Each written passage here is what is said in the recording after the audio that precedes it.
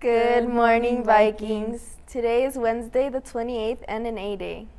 Today, the volleyball team is competing against Worcester.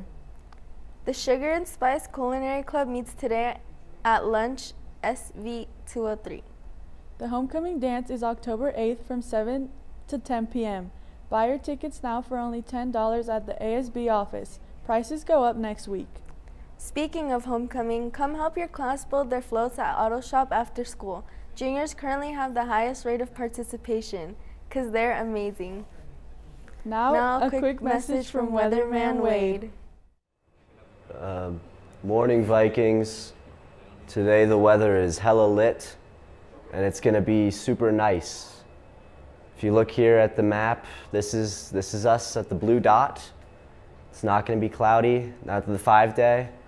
And on the five day, um, it's super cool.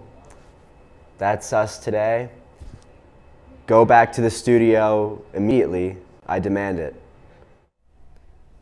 Looking to add some spice to your dull and kind of boring existence? Well, the Truckee Tahoe Humane Society is offering some adoptions for free this week only. Check it out and maybe bring home a new pal. Want to go to college in paradise? Come learn all about the University of Hawaii. Join us for a virtual presentation today at 5:30 on Zoom. See your email for details. Hey Leslie, what do you call it when you cross a chicken with the whale? What, a Wiccan trail? No, they're dead. That's so insensitive. Think of the poor chicken. Have a great day, Vikings.